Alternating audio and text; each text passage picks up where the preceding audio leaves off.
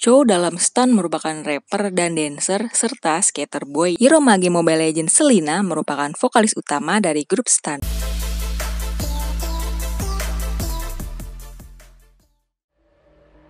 ...515 e-party tahun ini untuk pertama kalinya Mobile Legends membentuk grup musik virtual di Land of Dawn bernama Stan yang beranggotakan tiga hero ikonik di Mobile Legends.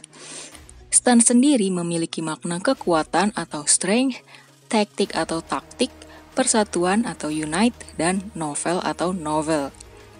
Penggabungan dari makna ini juga memiliki arti yang sama dengan tema 515 tahun ini yaitu bersama raih lebih atau together we achieve more. Chow merupakan hero pertama yang diperkenalkan sebagai salah satu anggota Stan. Setelah itu ada Selena dan juga Brody.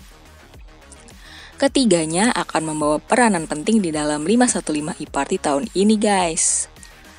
Nah, dalam perayaan 515 IPARI tahun ini terdapat tiga talent yang akan menjadi ketiga hero stan. Berikut tiga talent yang akan menjadi karakter dari masing-masing hero Mobile Legends dalam skin stan. Chow, Jonathan Liandi. Talent pertama yang diungkap untuk menjadi Chow dalam skin stan adalah Jonathan Liandi yang lebih dikenal dengan Emperor. Emperor adalah mantan pro player Mobile Legends yang dulu mengabdikan dirinya untuk EVOS Esport dan kini tengah sibuk menjadi streamer.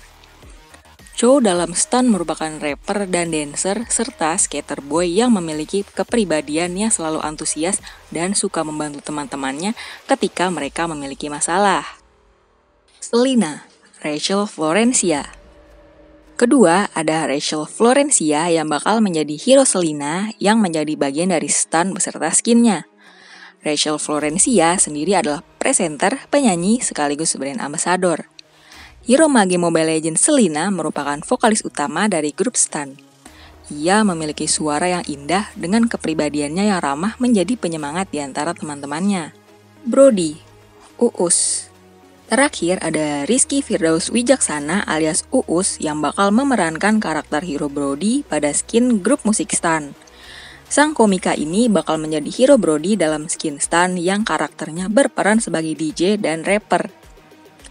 Brody diceritakan adalah pribadi yang terlihat pendiam, tetapi ketika sedang berada di belakang meja DJ, dia akan berubah menjadi pribadi yang berbeda. Dalam rangka memeriahkan event ini, game MOBA besutan Muntun tersebut juga meluncurkan lagu berjudul Together sebagai soundtrack. Debut dari Stan ini sendiri akan diumumkan pertama kalinya di tanggal 8 Mei 2021 mendatang. So, siapa yang udah nggak sabar menantikan performa dari Stan ini?